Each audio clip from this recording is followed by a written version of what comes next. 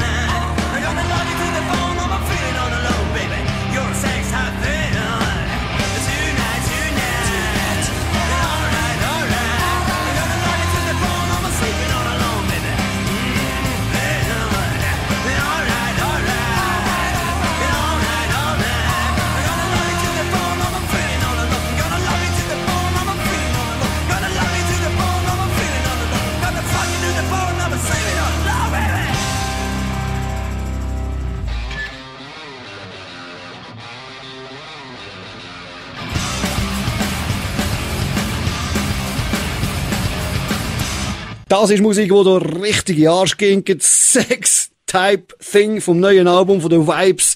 Standing at Your Own Grave heisst das Teil, das vierte Album von den Vibes, von der Aarauer Band. Bei mir als Gast ist der Mojo Flückiger. Er ist ein Drittel von den Vibes. Ähm, Mojo, das sind ja lustige Scheiben. Wie kommt man auf so einen tragischen Titel Standing at Your Own Grave? Ja, also muss da, vorab muss ich vielleicht sagen, eigentlich ist der Entstehungsshow von diesem Album, wie das Album schlussendlich noch geheissen hat. Und zwar, wir haben das Album mit zwei Sessions aufgenommen. Letzten Frühling haben wir die erste Session gehabt, letzten Herbst die, die grössere Session. Bei der ersten Session haben wir eigentlich, äh, no, man muss es so sagen, wir haben eine grosse Krise gehabt. Wir sind angeeckt einander, persönlich wie auch alle Sachen, vorankommen mit der Musik. Wir haben äh, die Spielfreude verloren. Die Spielfreude eigentlich da, wo uns immer schon auszeichnet hat. Eigentlich, darum machen wir es ja auch, weil es macht uns Freude, auf der Bühne abgehen, wie Zäpfchen und, und alles geben, oder? Ja. Und da haben wir verloren gehabt. Wir, haben, wir, haben, wir sind nicht vorwärts gekommen mit den Songs, die wir dort aufgenommen haben. Und wir haben uns halt vielleicht auch schon eine Zeit vorher schon ein bisschen auf das drauf hineingesteigert und einfach erst halt im letzten Moment äh, erkennt, dass es so nicht kann weitergehen kann. Und jetzt, schlussendlich, es eigentlich zwei, zwei Wege gegeben. Entweder du hörst einfach komplett auf, oder du reist in der Weg am Riemen und gibst einfach alles und stellst dein ganze Schaffen und alles auf den Kopf, um äh, die Spielfreude wieder erlangen. Wir haben uns natürlich fürs Zweite entschieden und alles wollen dafür geben. Es gibt uns jetzt knapp 13 Jahre.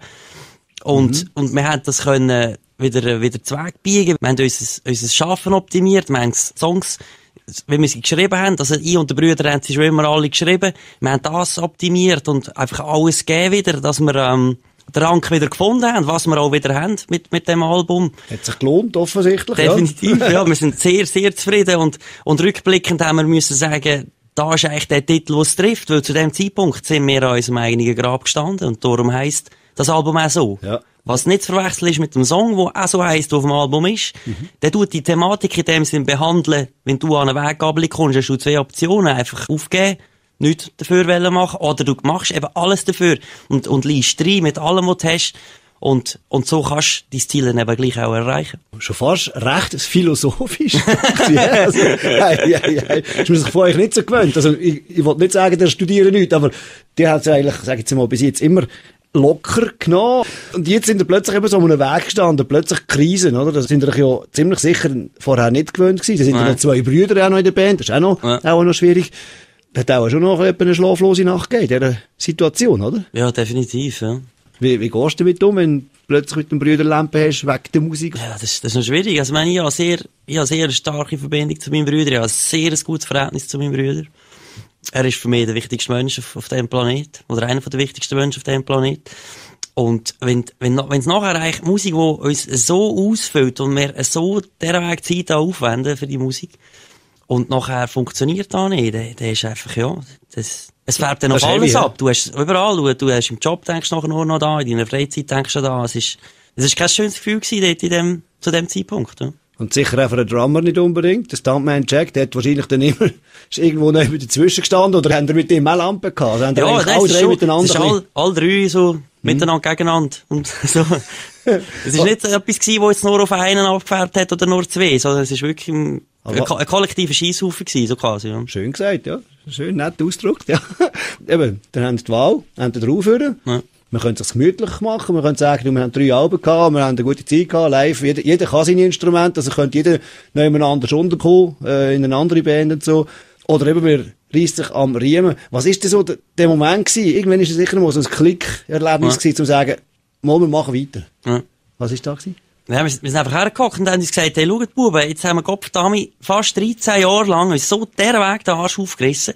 Und aus dem finanziellen Aspekt machen wir so nicht. Wir machen so, wir haben den Leuten Jahrstretten mit unserer Musik machen und bretschen und rocken auf der Bühne. Und dann haben wir gefunden, hey, der, der Weg, den wir jetzt gemacht haben, all die Jahre, all die geilen Sachen, die wir erlebt haben, da kann es jetzt einfach nicht sein, einfach das Einfachste zu machen, den Battle herzurühren und nach mir ins Influt, oder? Mhm. Dann haben wir gefunden, so Jungs, jetzt geben wir gerade noch mehr Vollgas.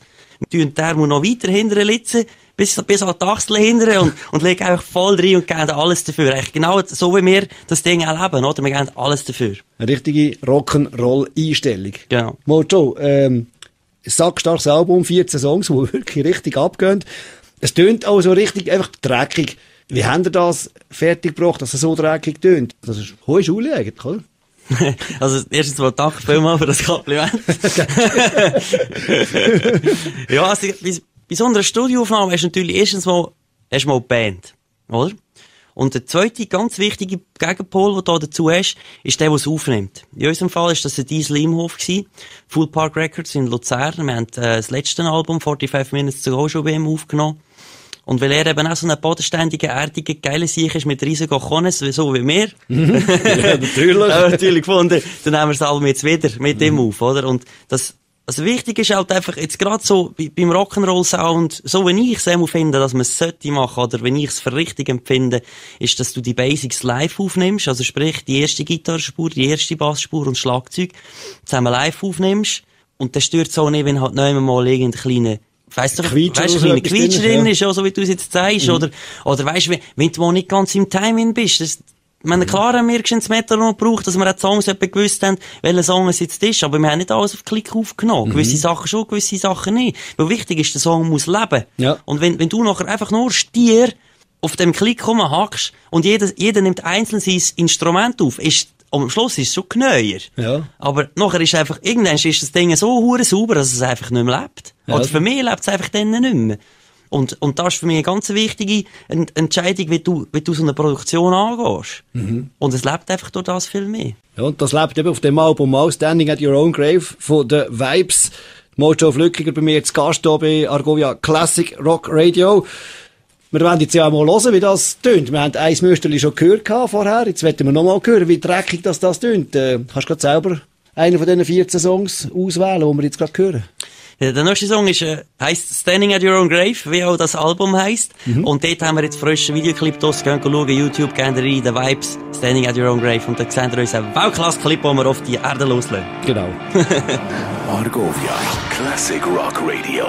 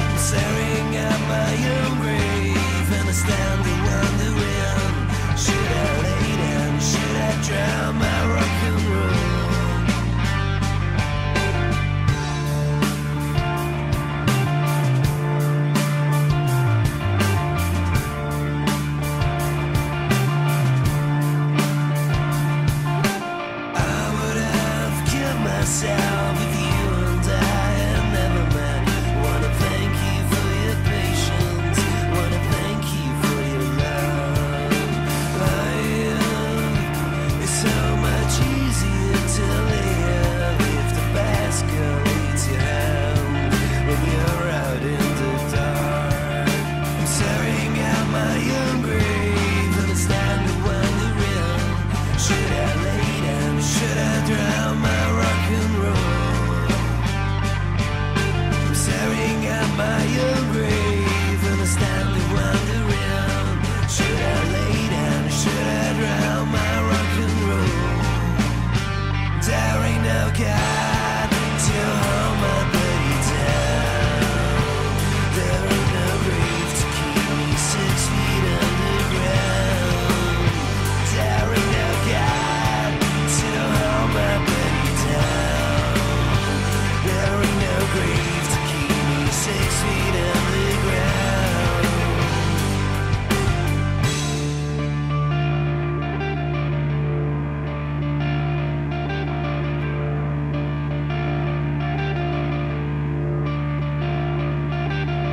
Those who have a to live can buy almost anyhow.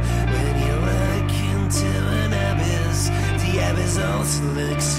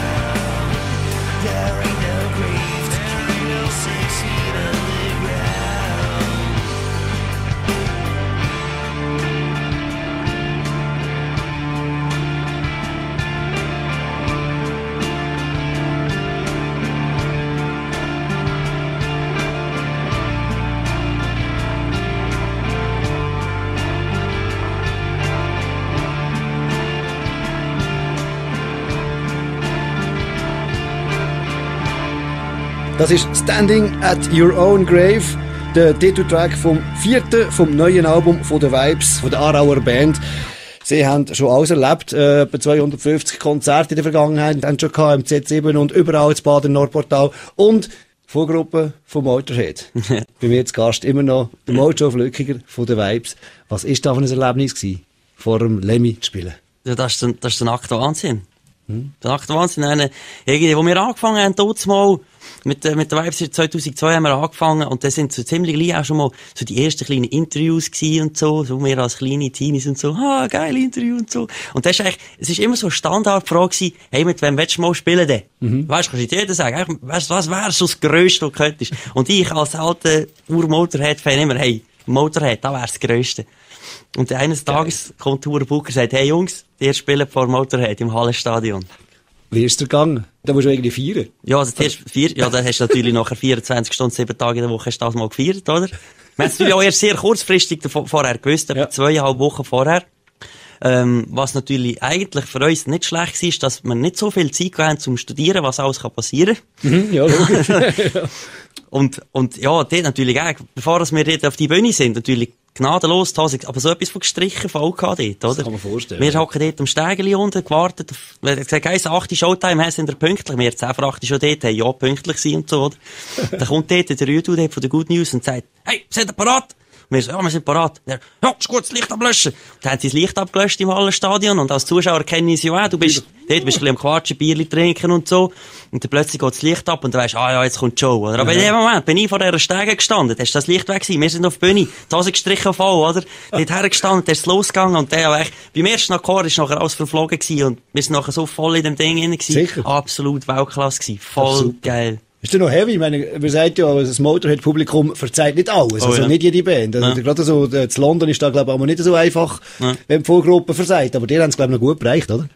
Äh, also, soweit ich nicht selber kann beurteilen, sind wir wirklich gut angekommen. Weil ich habe mir natürlich schon überlegt, Motorrad hat ganz klar ein Zielpublikum.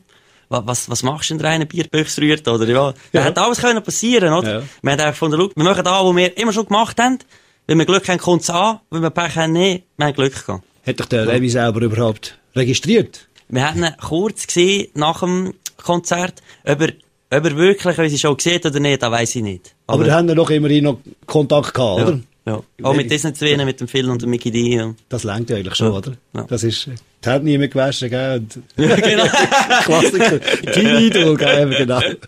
Ähm, jetzt haben wir 14 Stück da draufgepackt. Es ist auch heutzutage der Mode, wenn man noch ein Album rausbringt, dann tut man so neun, vielleicht acht und so, dass man ja nicht alles äh, schon verscherbelt und so. Die haben jetzt einfach 14 Songs draufgetatscht. Ja. Sind ihr wahnsinnig? Ja, also eigentlich, also die Grundidee war eigentlich, gewesen, Jungs, wir nehmen 15 Songs auf, dann schauen wir mal ein bisschen, schauen, die besten nehmen wir dann. Das war die Idee. Gewesen. Und da hat sich ziemlich schnell herauskristallisiert, dass eine nichts wird, oder einfach noch viel, viel, viel, viel, viel mehr Zeit braucht, die wir nicht hatten. Haben wir gefunden, schau, den streichen wir schon mal, sind es noch 14 Songs gewesen. Und nachher haben wir auch überlegt, du, wir wollen ja Vinyl machen, oder? Also, so, es kommt ja jetzt auch raus, das Vinyl. Und dort darfst du nicht mehr 45 Minuten draufpressen, sonst bist du einfach, hast du schon Verlust und das ist eigentlich dann schade, weil wenn du Vinyl machst, willst du auch möglichst geilen Sound auch drauf haben. Dann haben wir gefunden, ja, ja, aber du kannst ja 14 Songs bringst du jetzt auf 45 Minuten und so. Und dann schlussendlich haben wir gefunden, hey, wisst ihr was? Die 14 Songs, die sind so hure geil. Scheiß auf irgendwelche Regeln. Wir die 14 Songs, die hauen wir einfach auf die Platte drauf. Und dann machen wir halt einfach das Doppelvinyl. Kostet halt mehr Scheiß drauf, was ist Machst du jetzt ein Album, reissest dir jetzt den Arsch auf und in einem halben Jahr hat es dich nur angekackt. Wenn Ja. du irgendwie überlegt hättest, ja, jetzt Scheiße, jetzt haben wir die drei gestrichen, nur dass es irgendwie so und so ins Format hier passt. Und dort beim nächsten Album haben sie gleich nicht mehr Platz, weil sie schon ein bisschen Ja. veraltet sind und so. Ja, das, das ist eine coole Einstellung. Fällt mir schon auf, die haben ja eine spezielle Einstellung zu der Musik. Oder sie sagen einfach, wir wollen Musik machen, wir wollen eben den Leuten die Arsch. Musik, äh, wegen dem Geld machen wir es nicht. Klar, schön, wenn Geld die kommt, aber Ja, offenbar haben die wirklich einfach grauhaften Plausch am Musik machen, oder? Ja. Und da nicht nur auf Platten, sondern auch live. Das sind eine absolute Live-Granate, das habe ich schon ein paar Mal gesehen. Habt ihr immer noch die gleiche Energie wie vor 13 Jahren auf der Bühne? Also wenn ihr dort hinkommt, dann macht es immer noch das Gleiche. Also für mich persönlich ist das jetzt schwierig zu beantworten. Also was ich dir kann sagen ist, dass ich immer noch, wie äh, am Anfang, immer noch gleich am Arsch bin nach dem Konzert. Weil ich gebe einfach alles, was ich habe. Das ist ein Wenn, ich, gutes wenn, Zeichen. wenn wir 40 Minuten spielen oder wenn wir eineinhalb Stunden spielen, bin ich genau gleich am Ende nachher. Ich einfach Kräfte und halt aufteilen, oder? Ja. Wenn es nur 40 Minuten geht, dann geht es einfach umso mehr ab, dann, weil du hast ein bisschen mehr Kräfte dann zum Verteilen, oder? Am Schluss geht es eigentlich um das. Du gibst einfach alles und mit der Erfahrung bringst du so ein bisschen her, du weisst auch ein bisschen, wie was kannst du machen, dass es ein bisschen einfacher ist, den Funken ins Publikum über zu schwappen lassen? Was machen die, die, die sich wollen überzeugen von euren Live-Qualitäten? Da gibt es sicher noch viel. Wo kann man euch antreffen? In den nächsten Monaten, Wochen, Jahren, live? Ja, also jetzt steht Plattentaufe ja am Samstag im Kief Zarau.